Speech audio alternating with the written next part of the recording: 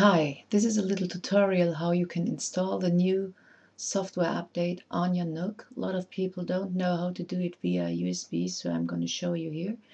Via Wi-Fi, but the update is not, um, you cannot get it yet via Wi-Fi. So if you use the USB, you download the update file from the Barnes & Noble site.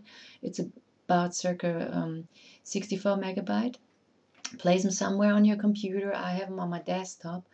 You connect your Nook to your computer so it shows up here and you open it up.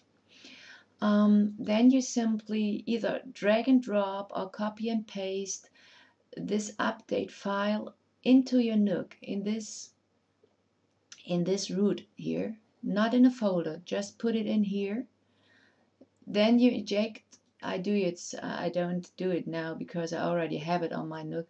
Then you eject simply the Nook and then the Nook starts automatically doing the update. You have to leave it alone then. It'll take a few minutes. You better just go out and drink a cup of coffee or whatever. And when you come back and your Nook is in the home screen, then the update is done. Don't do anything with in between. Just leave the Nook alone and let him install the update. It, switches on, it switches off. It uh, you know it do, does all kind of stuff. Just leave it alone until the update is completely installed.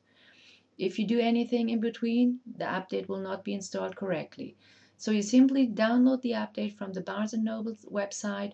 You drag and drop it in your Nook. You connect the Nook to the computer you open it up in the Explorer, you drag and drop the file in here, not in a folder.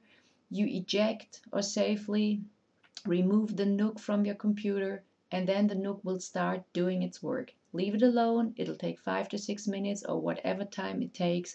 You'll see when it's finished.